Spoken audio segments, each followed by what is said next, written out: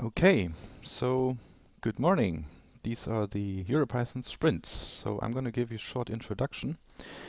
Um, basically a the, the, same what I did on Thursday for the conference, plus with a few additions, and uh, then we are going to have um, you know a set of short intros to the various different sprint teams. so let's start.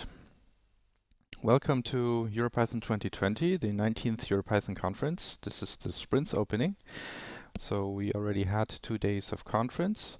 We sold more than 1,000 tickets, well sold or registered. Uh, we had attendees uh, yesterday, up until yesterday from, actually 69 is not right anymore, it's actually over 70 now. Um, 70 countries, which is uh, a whole lot. So it's really incredible how this online format makes it possible for other people to from you know all around the world to join.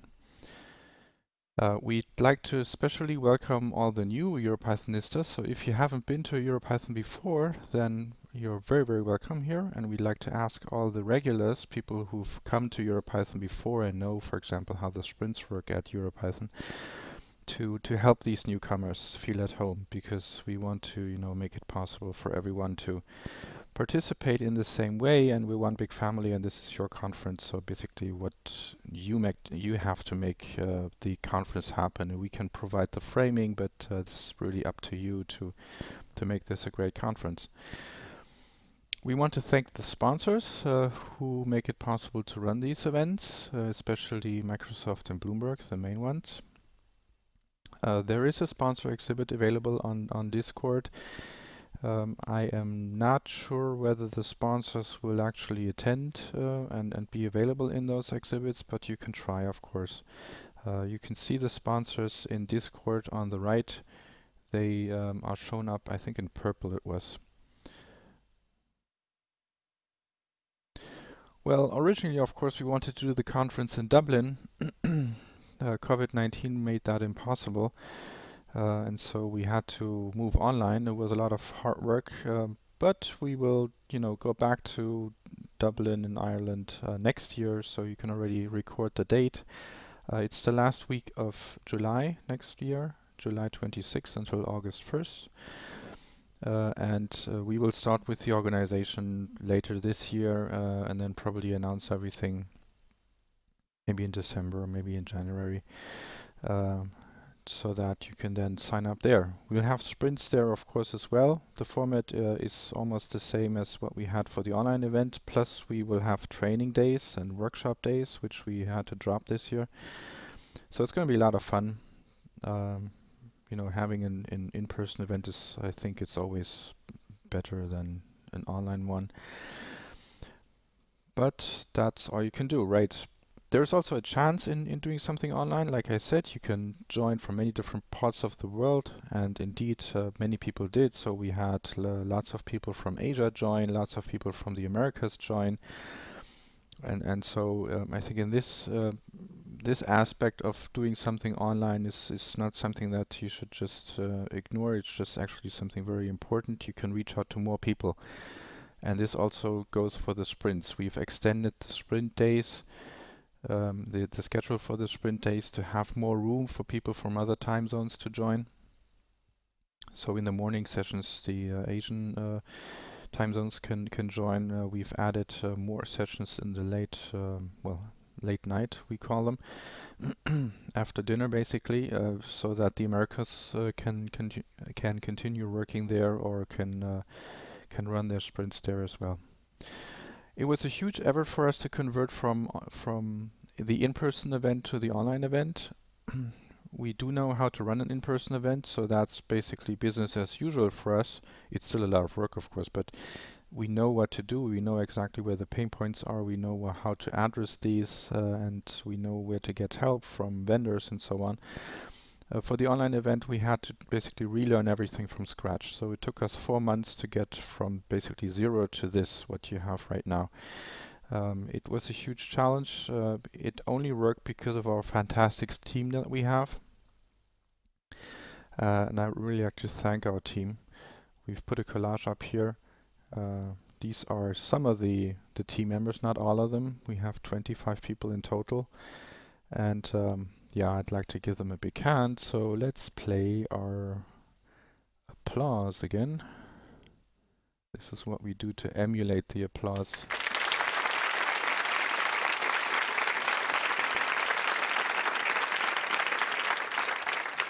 at the in-person conference. So EuroPython is backed by the EuroPython Society. This is just, you know, so that you know what who's running this. It's a non-profit organization. Um, the purpose is to, you know, run EuroPython and to support the European Python community, much like the PSF, but on a smaller scale. So we only uh, focus on Europe. It's all volunteer driven, no one gets paid for this. Uh, all the profits that we generate using the conference go directly into the grants and the FinAid, and uh, so this is how we operate.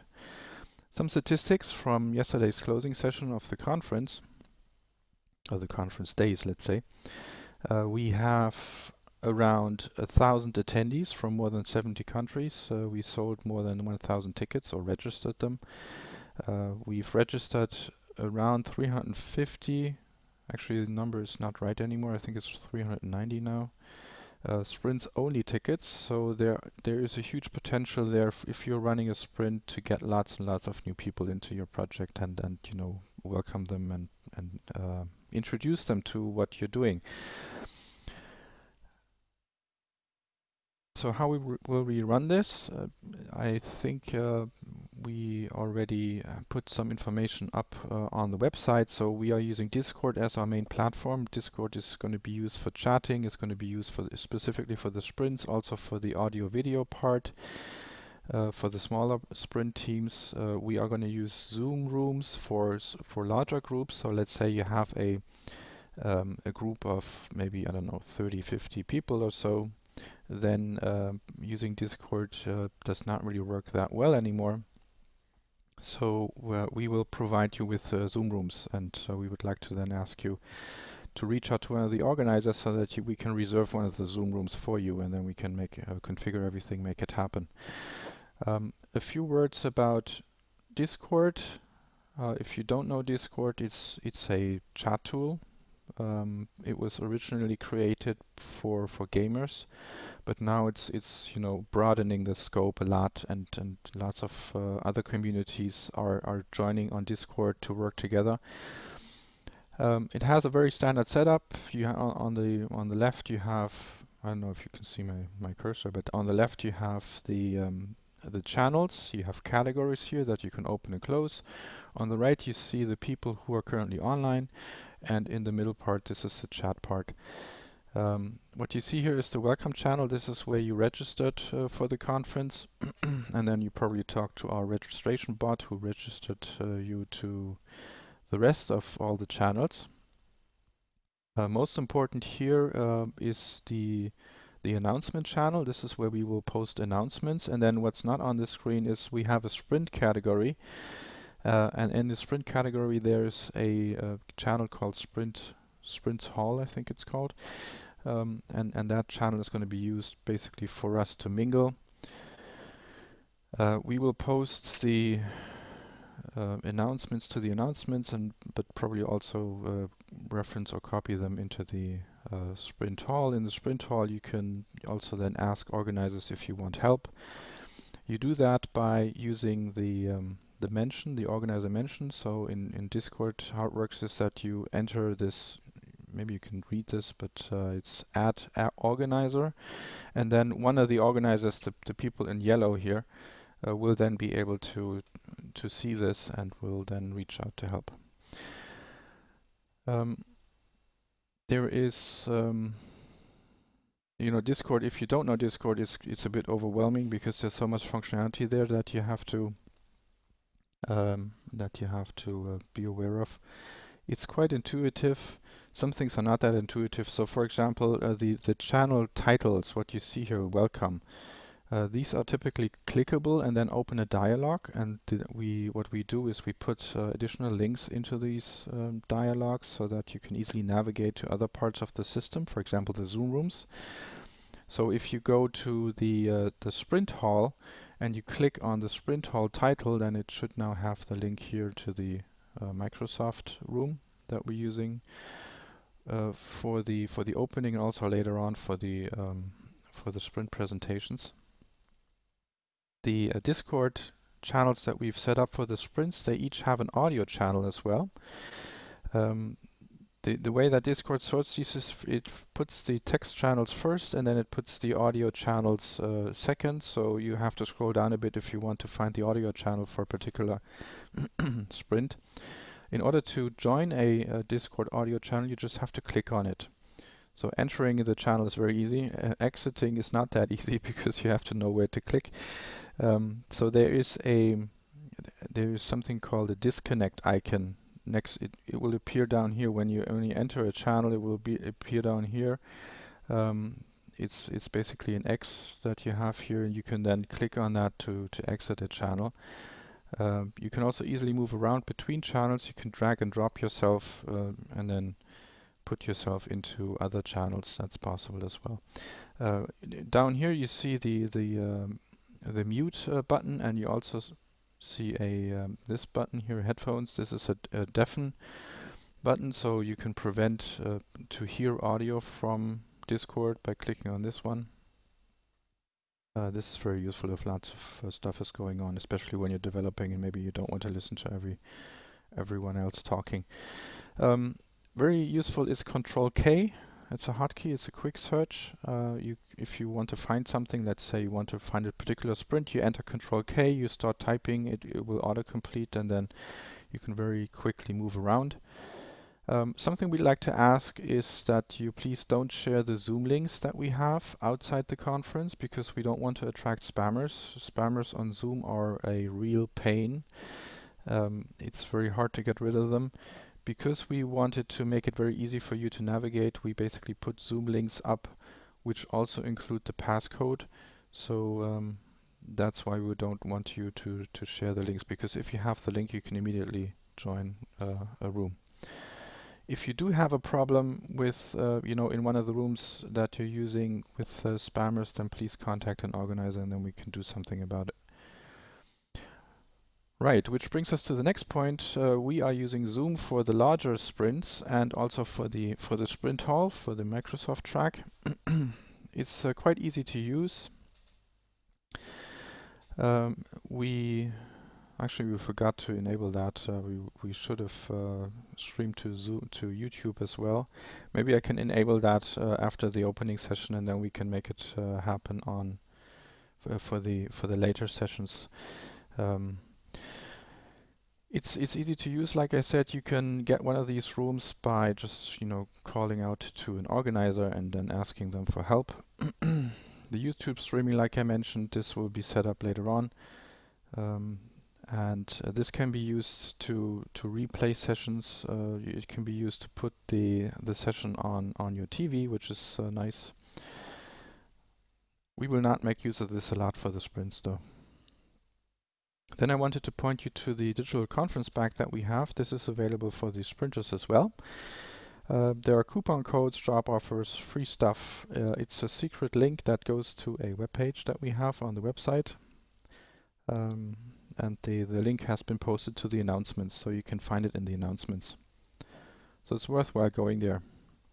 And you know, maybe one of the sponsors is there is um, in the sponsor exhibit as well. Maybe they can then reach out to you. right, so what does the schedule look like for the sprints? Um, we had already posted this on the website uh, some time ago. What we did um, in the past few days is we added some extra sessions down here. So this is new. All of these parts are new here as well. We also added a repeated uh, introduction here. Um, this is mainly meant for the Americas to when when they join because this is about the time when they would uh, join to to get an additional intro. Uh, we will have the same here for the announcements on Sunday, so that uh, we can manage like this and all the these um, orange uh, or brownish uh, kind of uh, fields here. Those are the sprint sessions where you can work. Um, you don't have to adhere to all of these things. This is mostly just to put some structure with it. Uh, lunchtime, you know, this is um, of course depends on your time zone. Um, but it's certainly something where you can maybe you know mingle a bit in the sprint hall when the time comes, and it's always good to you know get up and and have a coffee or have a drink or uh, do something else. So I've talked a lot about sprints. I've not really introduced what a sprint is. Um, of course, not not everyone knows or has been to a sprint before, or some uh, communities call these hackathons. Sprint is more like the Python term for these things. Um, the way it works is that it's it's completely self-organized. So there's usually one person or maybe a few uh, people in, in from a, an open source uh, project, or maybe it's just you know, you know, private people who have an idea you want to try something, um, and they will then want to get together and code together. That's basically the main purpose of a sprint.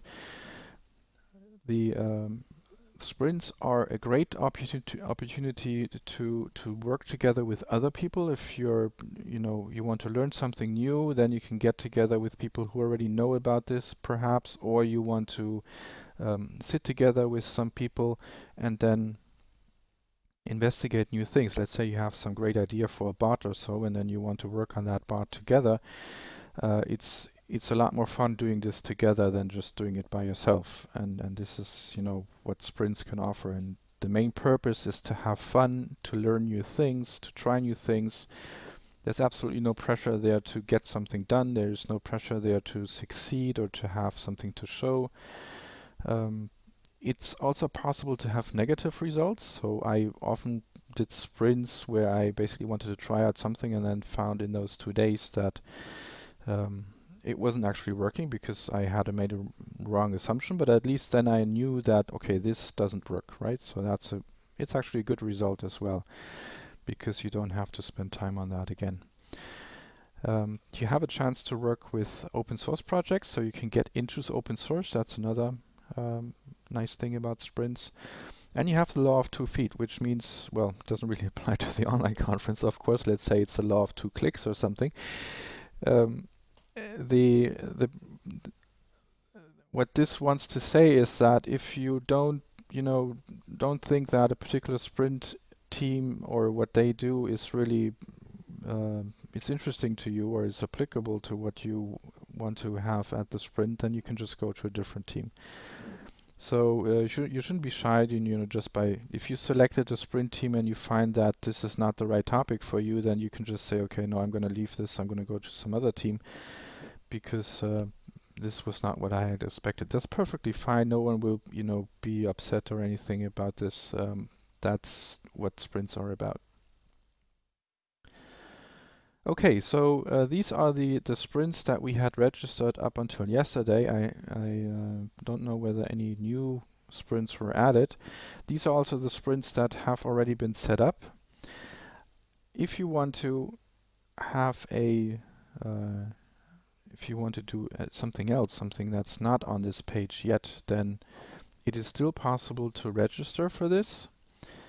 Um, actually, I think we should probably put this, I don't know if we have already into the sprint hall, maybe put the link here is in, in there.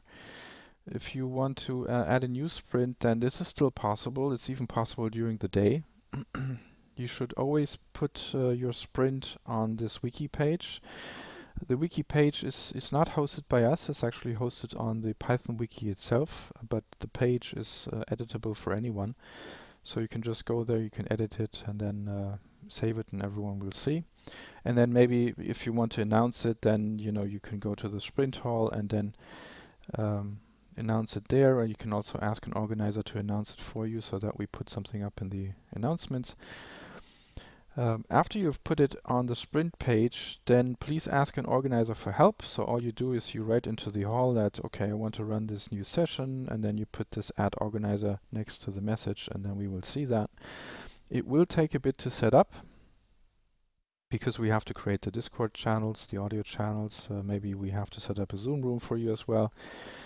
Um, and we need uh, also in the backend we need to do some um, you know organizational stuff um, it's you you should always uh, let us know who is in charge of each uh, of uh, the sprints so this is something that uh, Nicholas is currently setting up. So we have a spreadsheet that lists all the sprints, and we need a, a, a single contact of basically who we can work with uh, in in case there are you know issues or they the, sprints want to have some additions. Let's say they want to have a Zoom room, maybe for a short while or maybe for the whole sprint. Um, it's always useful to have a single contact there. So please, uh, you know, define one contact and then tell Nicholas about the contact so that we can add it to the to the sheet. Right, and uh, of course we have a code of conduct. Uh, in very short terms, the full version is on the website. In very short terms, it's be nice to each other, be professional, and don't spam. Uh, especially the be nice to each other is very, very important for sprints because we want to make this very welcoming. We want to, you know, have everyone feel at home, like I said in the beginning. And it's it's very important to adhere to this. Uh, there's absolutely no need to get angry at each other. Um, so maybe, you know, if you're getting upset or angry, maybe it's better to just walk away uh, from the from the notebook or from the desktop for a while and then maybe have some fresh air and come back. Um, if you do run into issues uh, with the code of conduct, then uh, these are the people to contact. Uh, we put the uh, Twitter and the Telegram uh, links here if you want to contact them directly. Um, most of these will also be at the sprint, so you can find them um, on on Discord, and then you know use the ad and then the name to contact them directly. Um, you can also reach out to all of these uh, by using the add COC mention, and then we will see that and then uh, can can step in. Right, we hope this doesn't happen. Yet, uh, up until now, we didn't have any reported code of conduct issues, and of course, we'd like to keep it that way. So uh, please be a good citizen and then we can get uh, through the events without any of these issues. Right, so that was all I wanted to say. Enjoy the sprints. Uh, I think I overran a bit. Um, let's now start with the introductions.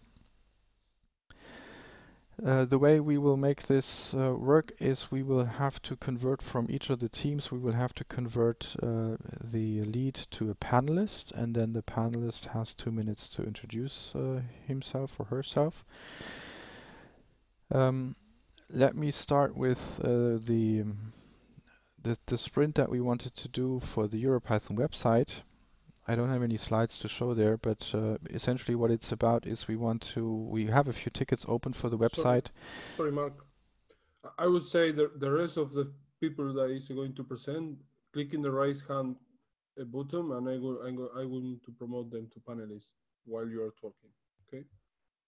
Okay, very good point. Yes, for for those who uh, we have not, uh, you know, made panelists yet, yes, please use the the raise hand feature in in uh, Zoom uh, so I see one, two raised hands there, and then Nicholas can make you uh, a panelist.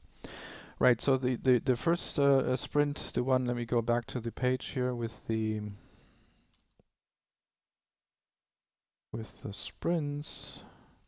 So it says here EuroPython website. EuroPython website, uh, this is about, you know, continuing development of the EuroPython website. We have a couple of tickets open there. It would be nice if you, we could we could close a few of those. Um, unfortunately, I don't know exactly how much time I can devote to this. Uh, maybe someone else can take over the lead of, of that one from the uh, web work group. Maybe Stefan. Um, so that's essentially all I wanted to say about this. Uh, so let's see who's next.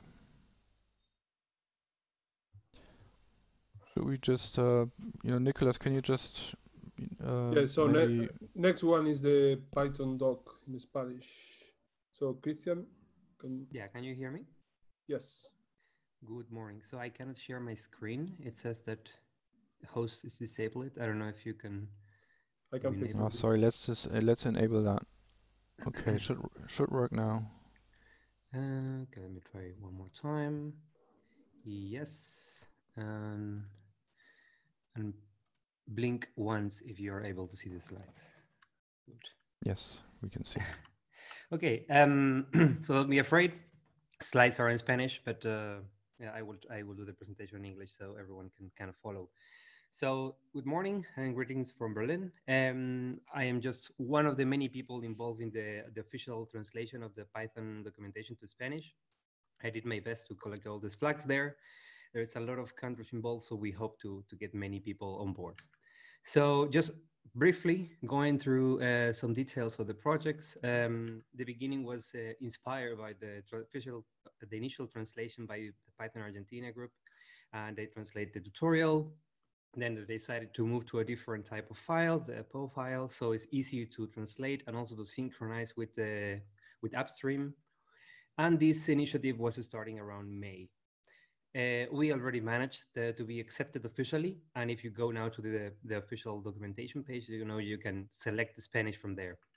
So just to give you a, a, an overview of the collaborations, we still have many uh, open issues because we need to open more and more due to the amount of people that get assigned more and more. We have really active community, still 26 only without any assignment.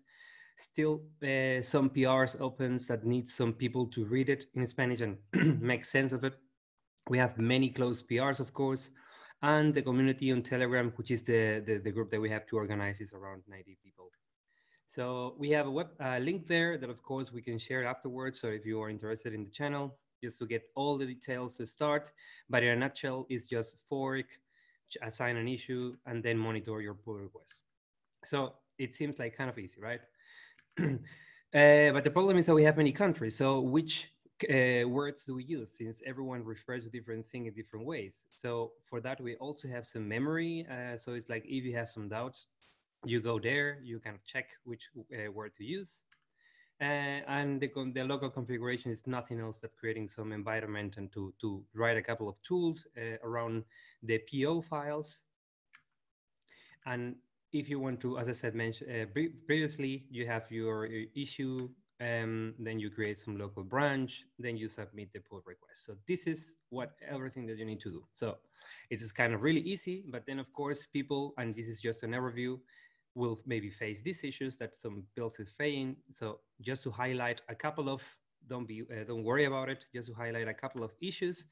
Sometimes we need to, uh, uh, run a wrap uh, tool just to uh, adjust the length of the lines, and then it is really easy. Sometimes we need to monitor some new words that we need to add some some dictionary to be accepted because of course, as you can see here, I can use the Argentinian and Spanish one, but there are many other words that maybe come from different places. Um, and also sometimes people have some, some struggle to up, uh, update the local branch. So of course we have some workarounds for those too. So that's it. Um, we have some frequently asked questions there. Of course, uh, many people trying to do many things with Git and everything. We are all learning this together. So uh, anyone can feel free to, to ask both in the Discord and also in the Telegram channel that we have there. So I hope that I didn't overuse my two minutes, but uh, in a nutshell, that's the initiative. No, that was perfect. Thank you. So who's next? Next is uh, Scanapi, but I think Camila is not here because she's from Brazil, and so I will skip the one.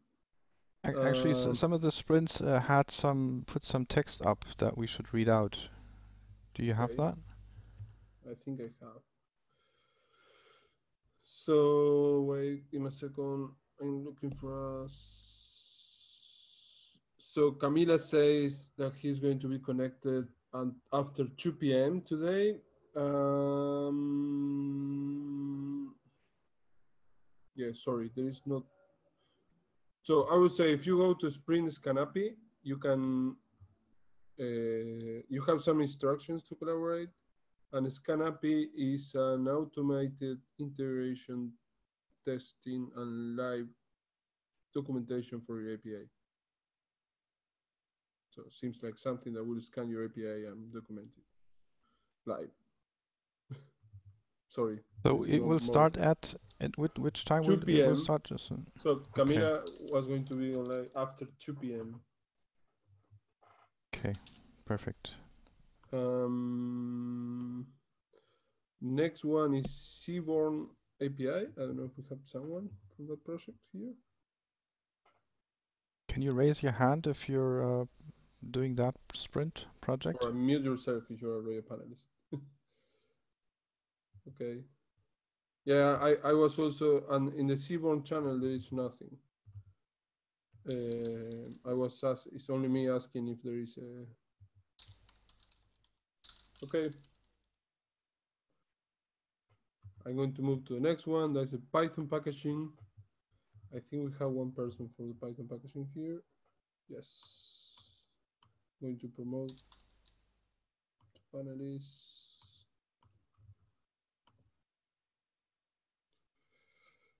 Um,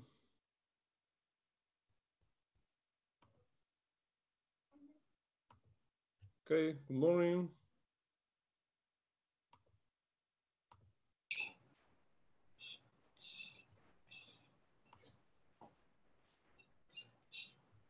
Hello. Hello, good morning. Hello. Hi, good can you hear me? Yep. Yep, sorry I can't do video right now because of network issues. But uh, I can share my screen. How do I do this? So next next one is a Strawberry GraphQL, and then it's Dia- Diamond Quest and Commitizen. So be be ready.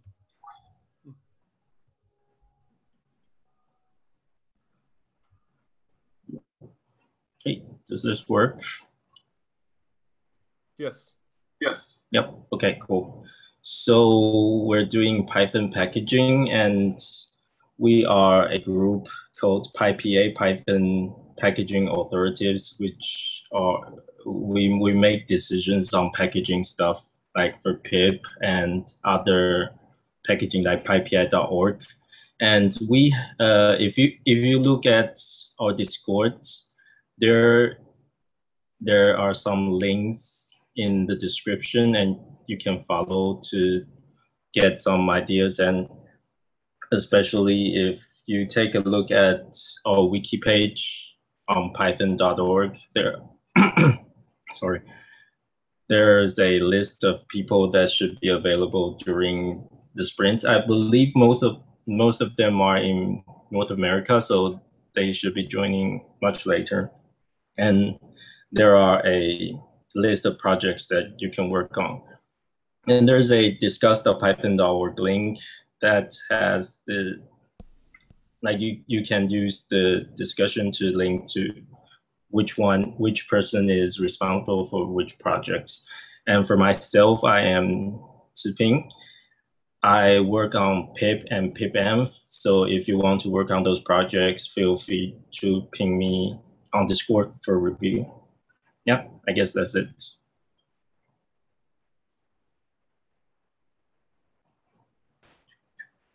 Thank you. Thank Okay, you. thank you. Okay, thank you. So, So- next one is a Strawberry GraphQL. Is anyone in the room? Yes. Perfect. Uh, so hello, uh, do you see my browser? Yes. Actually, I'm not uh, the coordinator for uh, this sprint. Uh, Patrick would be available soon. However, just to show you what this project is, what the project is about, uh, it's a um, uh, GraphQL server that uh, instead of using descriptors as in most of the software that is dealing with schema, here we are using uh, type annotations. So uh, our uh, our way of defining schemas is uh, uh, mm, coordinated with the type annotations and the static checks of uh, of the types. And uh, this is a quite young project. There was uh, there was a big uh, refactor lately. And uh, what do we expect? There is a number of, uh, of issues here which uh, require uh, your work. And also there is uh, missing uh, documentation.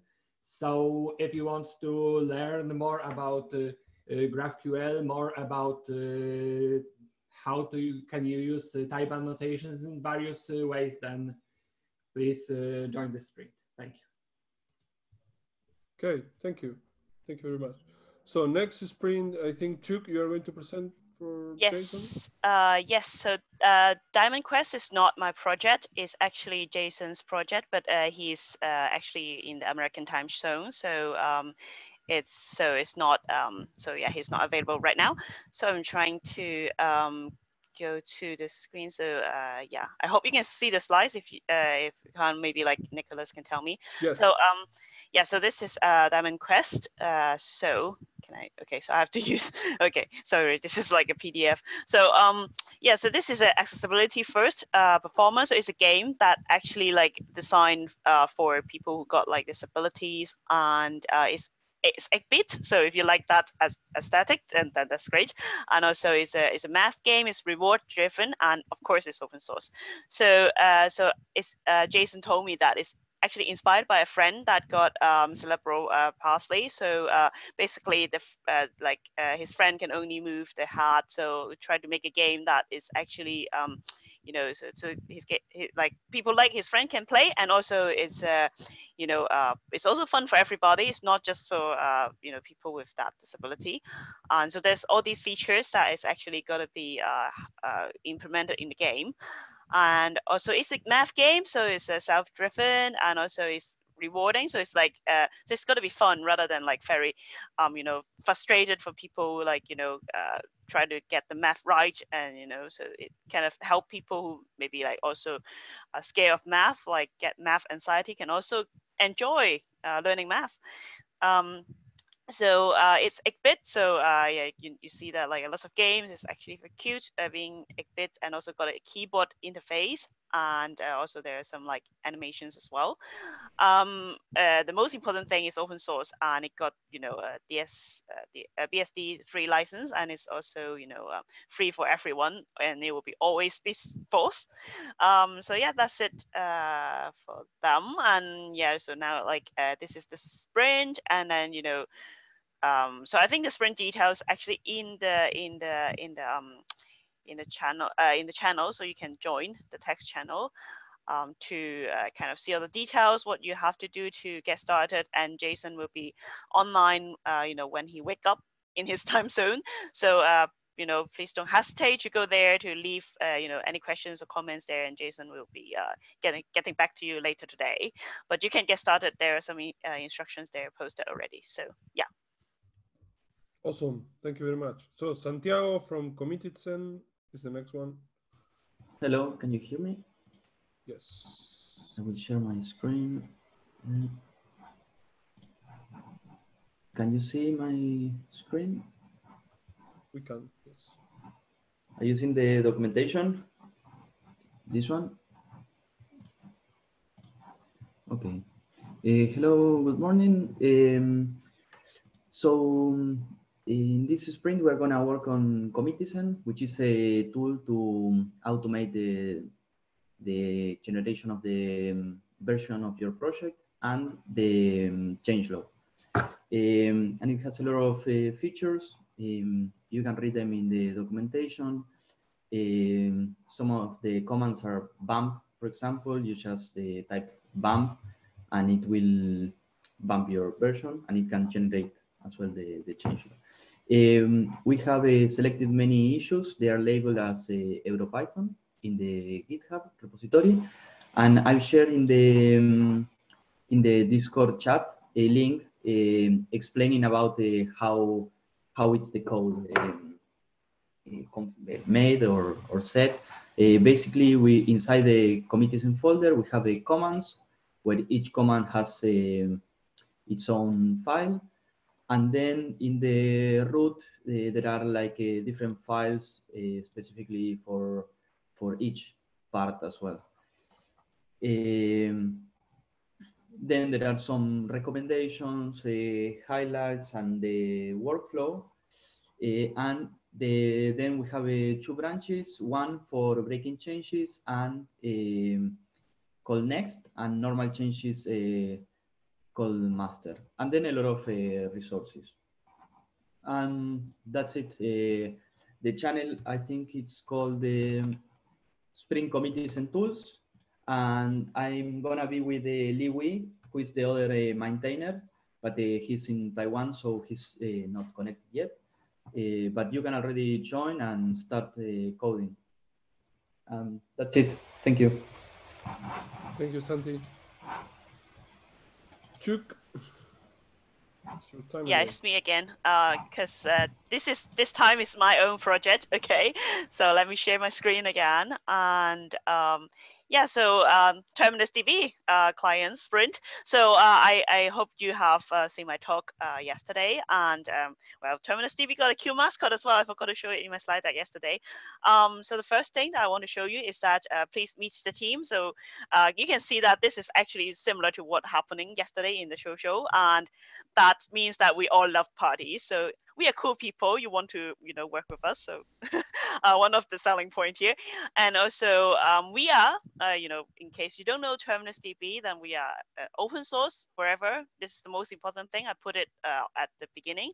And well, well, we are a graph database. Uh, so if you're interested in database or anything like you know data related, then this may be the project for you. Uh, we are a lightweight database. You know, uh, we use succinct uh, data uh, structure to to store all your data, so it's very lightweight. And also, uh, we can do revision control. So uh, basically, if you don't understand what that means, it means that like it can do what Git does. Um, so for the for the Python client, obviously this is made for uh, Pythonistas, and uh, the sprint today it will be super beginners friendly. I'm trying to also run a beginners workshop. Uh, I think I would coordinate with the organizers whether I will run it in this room or maybe in other rooms. So uh, stay tuned for the announcements. And uh, so for the sprint for uh, for Terminus DB clients, and it will mainly about docu documentation. So if you are scared of uh, doing too much coding, then uh, that's easy. And also uh, writing some tests if you want to you know challenge yourself a little bit more, or even like if you don't want to contribute to anything, well, you can just download it and play around. Like that will be user testing for me. Uh, we I actually have tickets for that. So um, and the most important thing is swags and we got actually very very nice swags uh, my colleague luke uh, actually say on the channel that like if you how uh, you know if you successfully uh, create some contribution then we can uh, send you swag if you um, contact him and let him know that like where about you are. And we can send you maybe not the cup is too difficult to ship, uh, to ship and it may be broken but like the socks the t-shirt the stickers it's easy to to to, to uh, mail it to you. So um, please consider joining us. It will be fun. awesome, thank you. So, Lais going to present about Kedro. Yes. Hello, hello. Good morning. Bom dia. Bom dia. Uh, here we go. Perfect. So, uh, hello everyone. Good morning. Uh, welcome to Python Sprints. Uh, my name is Lais. You might have seen me around or be hosted by me around one of the one of the talks. Um, I hope you're having fun. And well, so I'm the, I'm Kedro's developer advocate, and I will be running uh, the sprint in our room today with uh, my project my project manager, man, manager called Yetunde. Uh, so basically, I'm what Kedro is. So Kedro is a Python development framework that helps you build uh, data pipelines. So um, we have a template that is based on the cookie, uh, cookie cutter data science, and it implements software engineering best practices um, for data science and machine learning models. Uh, so it's basically, it that has a very modular kind of uh, style to it. So it, some people actually say that it kind of looks like um, the React or the Django of data science. Uh, so what we're trying to do with Kedro is basically make sure that data engineers and data scientists collaborate in a very peaceful and effective, in effective way, um, making production ready code from the get-go. Um, so we have a few issues here for you already. Um, we are going to be, there's uh, issues from for every type of difficulty. Uh, if you're a newbie, I would more than happy to help you learning how to make your first pull request. Um, and yeah, so please, we're waiting for you with this list of issues. Uh, just join us, and we also have swags for you. So yeah.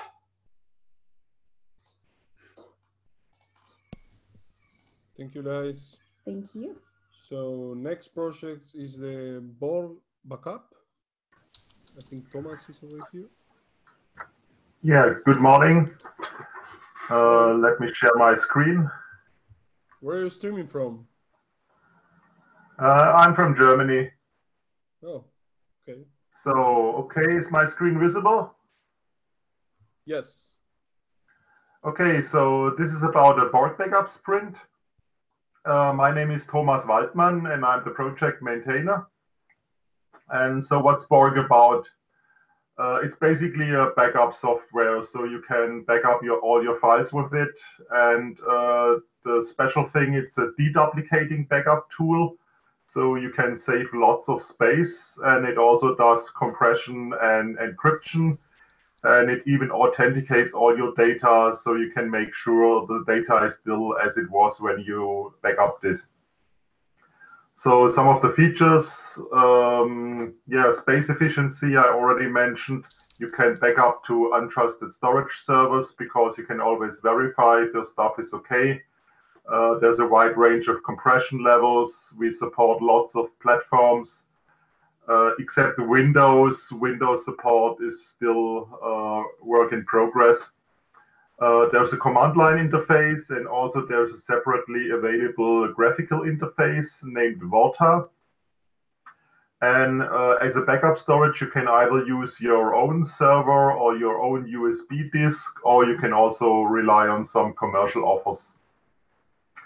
Uh, the code is mostly in Python 3, or it's completely in Python 3. Um, and the Python code is most of our code. And a little bit of code is also in Cython. Uh, some of it is in C, uh, some own hash table implementation, so we need uh, less memory. And we also use some third-party libraries like MessagePack, OpenSSL, and some compression libraries. Uh, these are the tools and services we use. We use Git, we use PyTest, uh, we use Sphinx. The continuous integration runs on Travis, and we use uh, Vagrant and VirtualBox for platform testing. Uh, we do bounties uh, using Bounty Source, and the documentation is hosted on readthedocs.org. Um, some of the sprint topics is uh, if you are completely new to the project, you can get an introduction to the code base. Um, we want to debug, analyze, and fix some issues.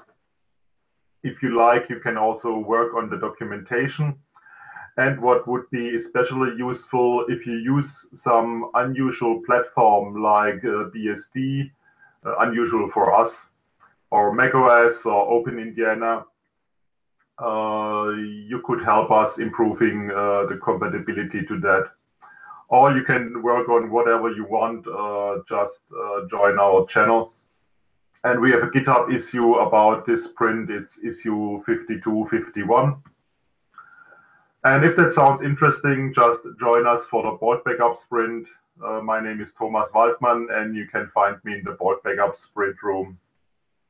Okay, that's it. Okay, thank you very much. Good luck. So Epikachu or Epica is the next project, but I think no one is here. And also there is no information in the channel. So I have the feeling that there is someone from a different time zone. Uh, so I'm going to skip that one. And that means that hypothesis is the last project um, I think Zac is over here. I am. Can people hear me? Yes, perfect. Welcome. Excellent. Uh, well, hello from sunny Australia. You might be thinking, what is an Australian doing at EuroPython?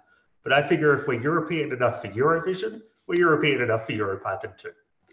Uh, so I'll be running a sprint this morning while I'm still awake thanks to time zones on Hypothesis which is a tool for what we call property-based testing, uh, which is a style of testing where instead of saying that this specific input leads to a specific output, you declare what kinds of inputs should be allowed, and a hypothesis tries to generate an output which makes your test fail. Uh, this might be easier to explain with a little demo, which is also going to be a sneaky preview of a thing I have in a pull request.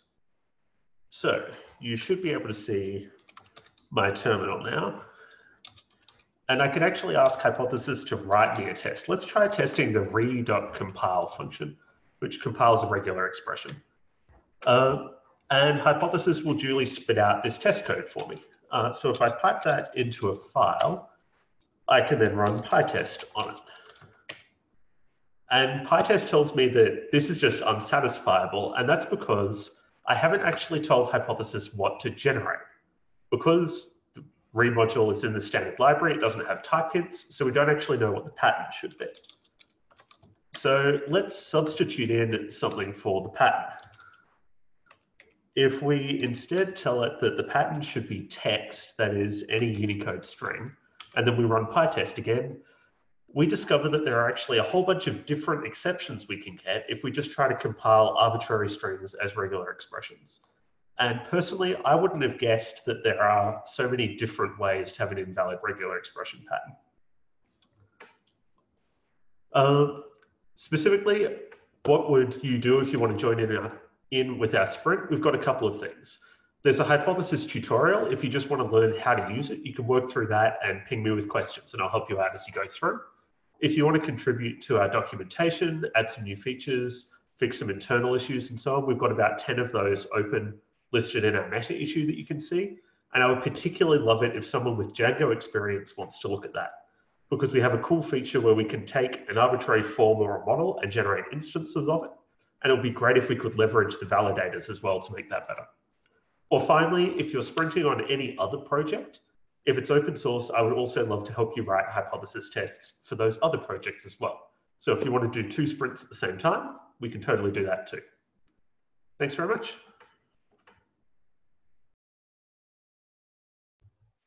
Thank you, Zac. Thank you, and thank you for hypothesis. um, so I think that was the last project if I we are missing someone, please raise your hand. Otherwise, I think we are done. Sorry. So just a comment I want to say.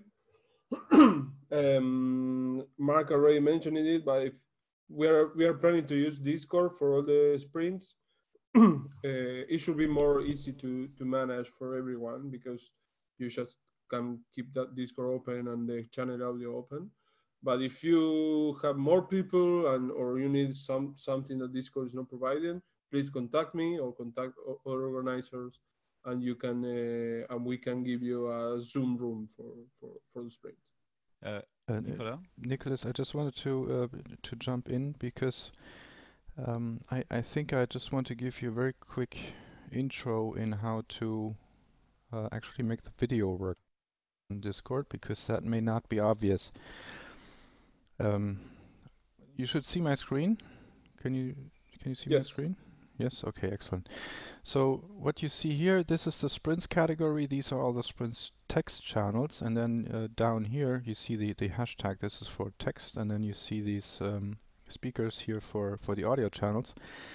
Um, to enter these, let me just exit again. Uh, okay to, to enter the audio channel, it's very easy. You just click on it. It works like this. And then you're, you're a member of this audio channel. You can only be member of one audio channel on Discord. Uh, so if you click somewhere else, then you just you switch like this, right? You can also drag and drop yourself into some other uh, channel that works as well. Now that's audio. Audio is easy. if you want to set up your audio devices, you go here to the user settings, you go here to voice and, and video, uh, and then you can set your input output device for, for audio. Down here you can set your, your video. I, I chose this uh, virtual webcam here because you can only have one webcam on at a time but you, you can configure others that you have here as well, right? OBS also works if you want to use that for presentations.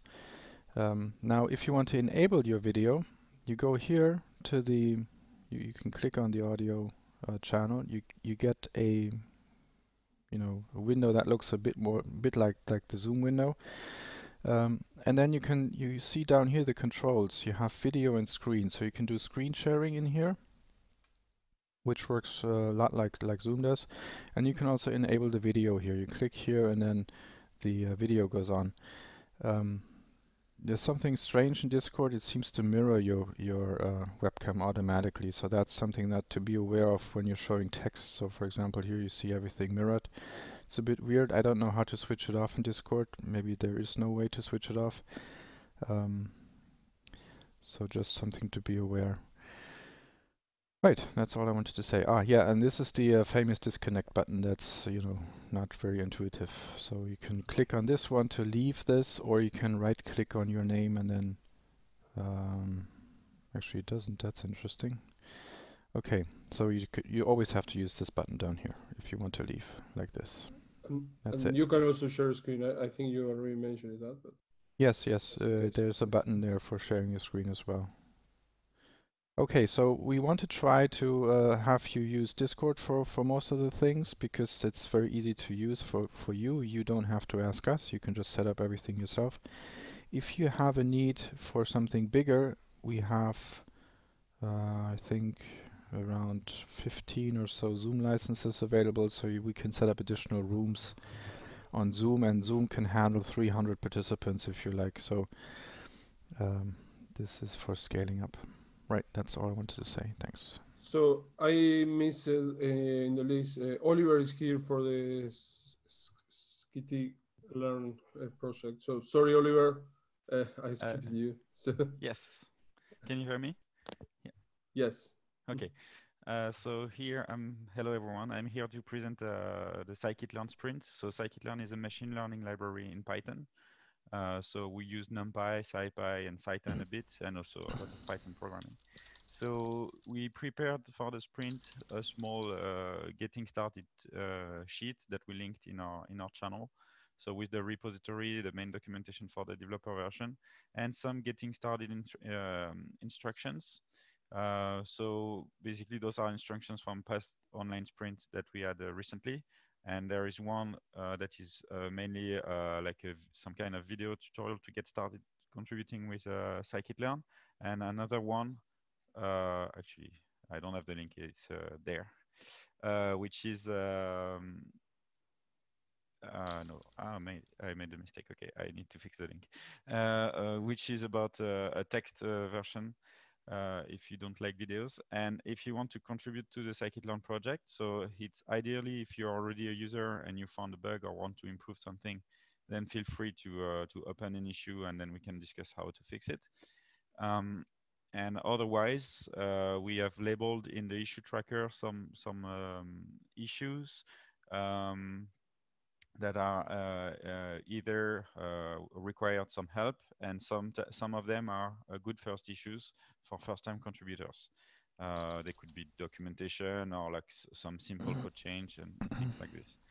Uh, there are also some uh, old pull requests that are stalled. Uh, so if you're a specialist of one of uh, a scikit-learn clustering or something like that, or a user, and you want to help move those uh, pull requests forward, you can uh, feel free to take over those if they have not been updated in the last couple of months, for instance.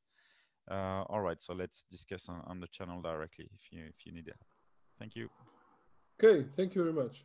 Um, I think we are done. Mark, anything else? Yes, I think so too. I think we can uh, we can now Uh, start. Can can Yeah. we have a, a beginners workshop here? If people want to, uh, you know, haven't make any contribution, haven't been to any sprints, they could stay here and uh, Oh, yeah. give a short, yeah. Good, good, good idea. Sprint intro. Yes. So let me just uh, play the applause because I like playing the applause. So.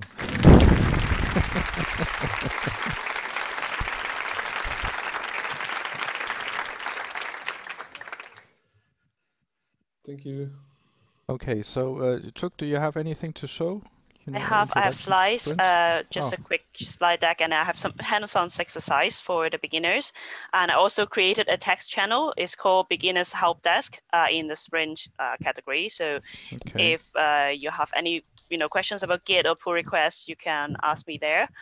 And um, so yeah, if, if you are very experienced in Sprint, you know what you're doing, you can basically start uh, work on the project that you want to work on. And someone asked, uh, what time will people show their work? So there's an end of uh, you know end of day sessions there. I think maybe we can coordinate that, but basically uh, it will be quite improvised. So um, yeah, stay tuned to the to the channels. I think uh, yeah we would make some announcement there. So yeah, so I will just share my screen now, and here. Okay, so yeah, so this is actually a reuse some slides that I've done before. Uh, I've, I've run some uh, open source beginners bootcamp, so people found this helpful. So uh, I hope that if you're new to open source, if you're new to um, you know, uh, so uh, what you know, contribution contributing to open source, or even you're new to GitHub, that like I am here to help you. And um, so I'm Cheuk. I, you know, I, I don't want to spend too much time because like I, I, think you have seen enough of me today. um, so yeah, I organize a lot of things and I have a channel for beginners. I actually do have a Git tutorial on uh, that I've done on Twitch before. It may still be there, uh, it may not, but I can share the link uh, of the YouTube copy there uh, if anybody want to get more information about Git. I'll share in the beginners uh, channel. So um, so if you wonder, like, okay, I just come here for EuroPython and I try to stay as long as I could. So what is this Sprint open source thing about? Like maybe you have no idea what this is. You just like use Python for work or you just started to use Python. So you may have like no idea about like, so okay, what is open source, you know? Um, so uh, I think open source software and uh, I, I won't be as good as uh, you know explaining as this video so i'm just like playing this. Uh, i think i hope it's okay to play this video. Uh, i don't know whether we're streaming or not but uh, this is actually a youtube from, uh, a youtube video from intel. So i if that's okay I, will just play it. Uh, open source software is sorry i start again. Most people understand that open source software is software copied for free What's less understood is how the potential chaos of all these copies can be transformed into a collaborative whole. Let's break down how open source works, using a family cookie recipe as a metaphor we can all relate to. Just like code, all recipes start by somebody writing the original version. In this case, Grandma May has developed a delicious cookie recipe. She shares it with her family, telling them they can use her recipe as long as they follow her rules. In Grandma May's case, anyone who bakes cookies with her recipe has to credit her as the author. And if they make changes to her recipe, she has to be allowed to use those changes in future versions of the recipe. The same thing happens when someone writes and publishes an original version of open source software. They put rules, called licenses, in place so that others can use and change the code they've written as long as they follow the author's license. Grandma May's recipe provides her family with a place to start that they can customize to their own liking. Aunt Maria decided to add chocolate chips to her batch of cookies. In software, this departure from the original code is called a branch. Aunt Maria's change was such a great success with everyone who tasted the cookies that she asked Grandma May to add chocolate chips to her original recipe. At this point, Grandma May needs to begin acting as a maintainer, looking after the integrity of the original recipe and deciding which changes she will incorporate. In this case, Grandma May agreed that the chocolate chips were a good addition, and so from then on, Grandma May's recipe included chocolate chips. Aunt Maria is now a contributor because she has contributed something to the recipe.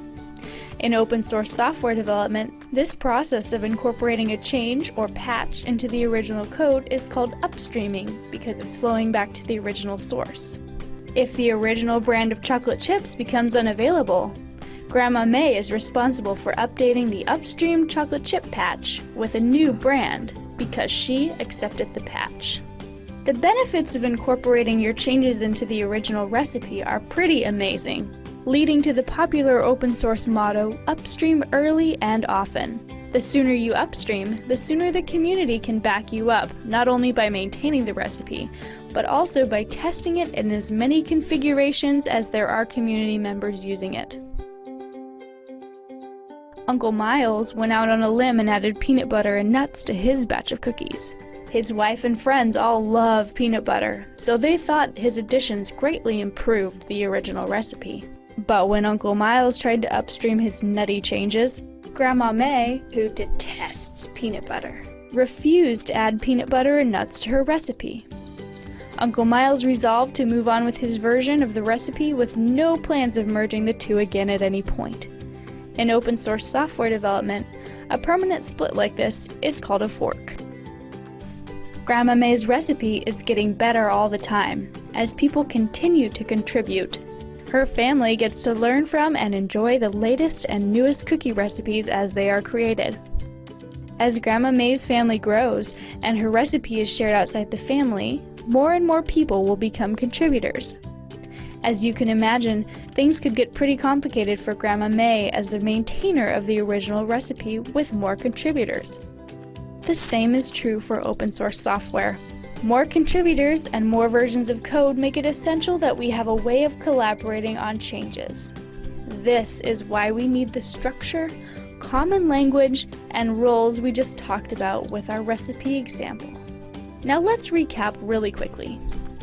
Someone writes an original version of the open source software. They set rules around how it can be used and changed called licenses. This gives contributors a starting point to then branch out from and make changes or patches. Some request their changes to be upstreamed to merge their new version with the original version. If the maintainer decides to incorporate the change, it becomes part of the main branch and will be maintained by the community even if the contributor stops being involved in the project. Sometimes, software is taken in a direction that we know will not be incorporated back into the original version. This kind of permanent split is called a fork. Open source has the potential to be complicated because it's created by communities of people. But these ways of working manage those communities, making it possible to benefit from new versions from an authoritative source, the maintainer.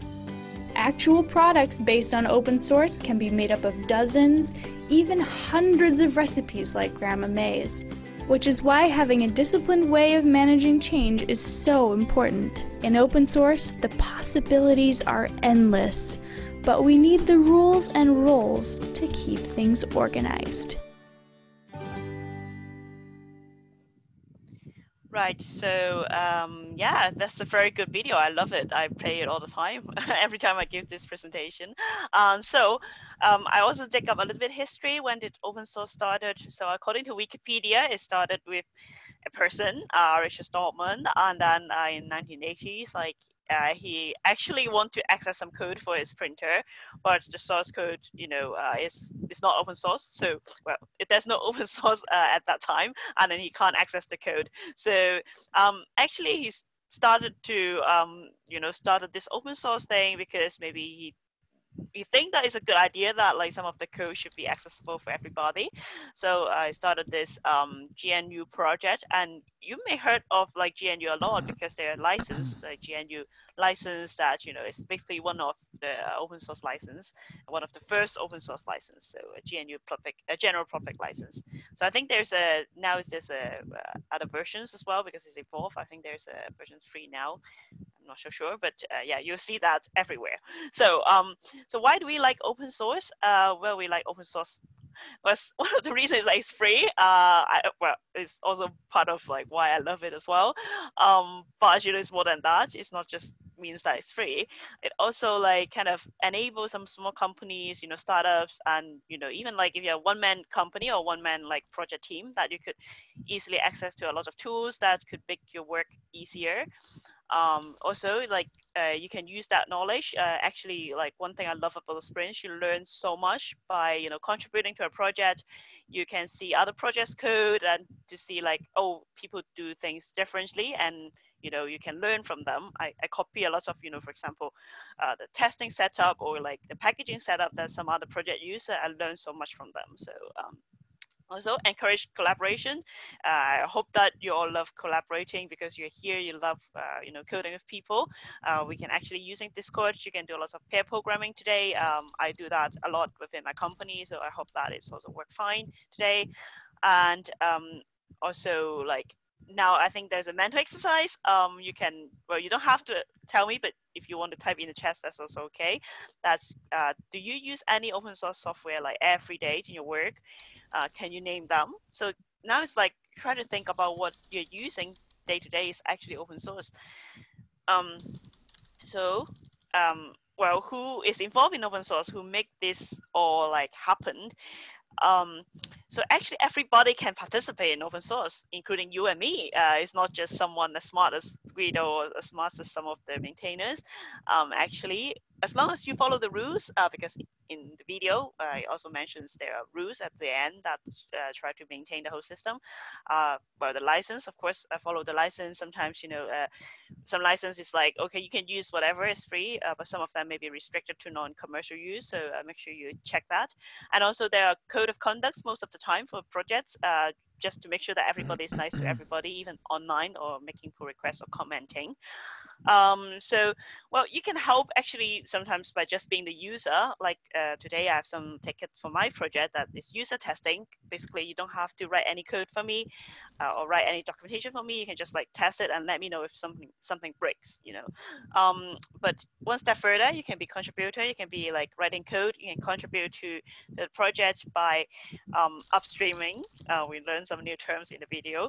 Um, uh, and eventually uh, you may actually uh, what happens to some people is that they become a very you know um, they, they contribute a lot they they contribute cons- consistently and then maybe people invite them to be one of the maintainers in the team and uh, or you, you go for another path you you know you of make, um, you know manage the community you uh, help to promote that project you help to make sure that you know um, everybody's you know the users are happy everybody's nice to each other.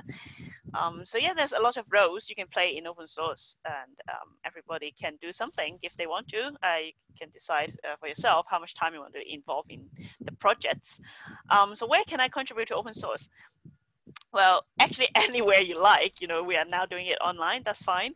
Um, but uh, you know normally we'll have the sprint after the conference so people can still stay if they are not rushing back home they can still stay and uh, work together um, so but also there's other other places you know like um, mark has already showed us uh, at the beginning that you know there are hackathons there's like events that are organized by uh, people.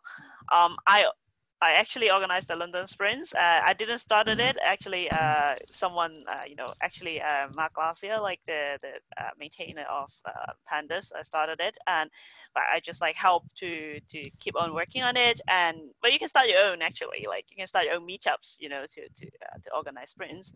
Um, so conferences like EuroPython, like we have this tradition of having the sprints after the conference. So if you go to a conference, try to see if they have a sprint, uh, see if you can stay maybe one or two days behind to just uh, do, you know, uh, work on this, you know, work in the sprint. And private sprints, you can actually get it all your friends and just contribute if you want to. Um, and I'm, you know, we've been big friends in this conference, so I hope that you know you can find friends that also love uh, doing this uh, together with you. Um, so how can I contribute? and I have actually a slide deck that I think uh, my friend Lace also shared it like before. Um, you can actually uh, this this slides are you know all yours. You can just like go there. There's the link there. I hope this still work. If not, you can find it on slides.com and put my name Ting underscore ho there. Uh, you'll find this slide that I will share it again in the beginners channel as well. That actually yeah, let's test test if the link is still working. Okay, that's good. It's still working. So um, so yeah, it's actually a step-by-step guide that uh, you can make your first um, pull request if you have never done that before, or if you have never you know, I know some uh, lots of people, you know, they have already like they are they are developers, they have already used Git in their work, but uh, but the steps may be a little bit different uh, in open source projects. So uh, this this slide deck, actually all the steps are quite standard for a lot of projects. Of course, there's some like minor um, differences. Like so, please, you know, if you have doubt, ask the maintainer of the project that you're working on. Um, but as an exercise, you can follow all these steps to uh, make your pull request to a, a dummy um, repo that I don't own. I just like hijack someone's repo, but they welcome people to uh, use it as an exercise to uh, create PR.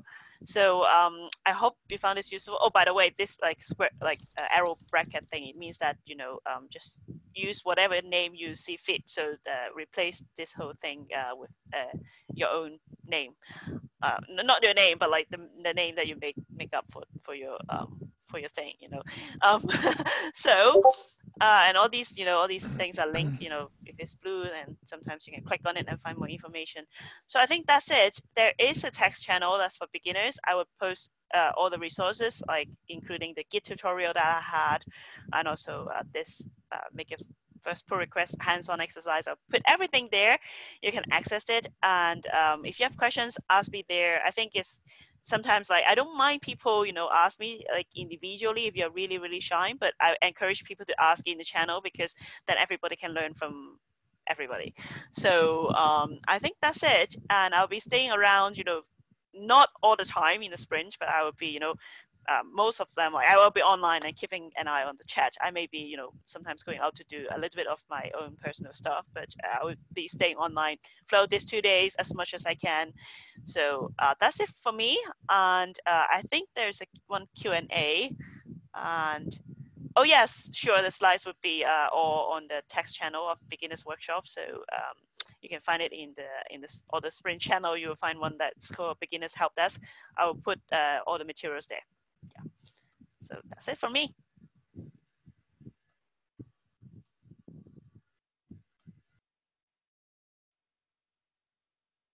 Okay, so I guess uh, we're done with the opening and with the uh, workshop. That was a nice introduction, Cheuk. That's very useful. Um, because we forgot to put up the uh, YouTube streaming um, this morning, um, I'm going to close this meeting now and then we will wait for the recording um, from Zoom and then try to upload that to YouTube and I can post a link um, to the, the sprint hall. All right, happy sprinting. See you in a bit.